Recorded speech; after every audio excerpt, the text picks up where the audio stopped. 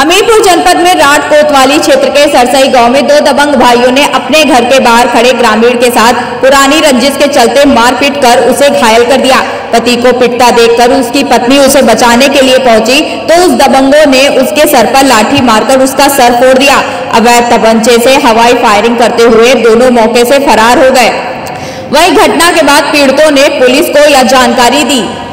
जिसके बाद उन्होंने राट कोतवाली में मामले की लिखित तहरीर देकर कार्यवाही की एक गुहार लगाई है। राट कोतवाली क्षेत्र के सरसई गाँव के निवासी व घायल महिला शीला ने बताया कि रात के समय गाँव के ही दबंग देवेंद्र राजपूत व आनंद राजपुत्र पुत्रगढ़, शिव सहाय शराब के नशे में धुत होकर उसके घर पर आए और दरवाजे पर खड़े उसके पति के साथ पुरानी रंजिश के चलते गाली गलौज करने लगे।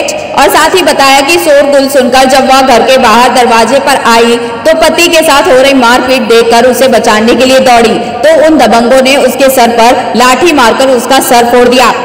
साथ ही बताया कि उन दबंगों ने अवैध तमंचे से तीन राउंड फायरिंग भी की, ताकि दहशत फैलाते हुए मौके से फरार हो सके।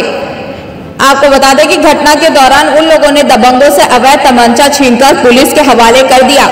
वही राट कोतवाली पुलिस के इंस्पेक्टर दिनेश सिंह ने बताया कि मामले में मुकदमा दर्ज कर वैधानिक कार्यवाही की जा रही है। Bureau report, IPN.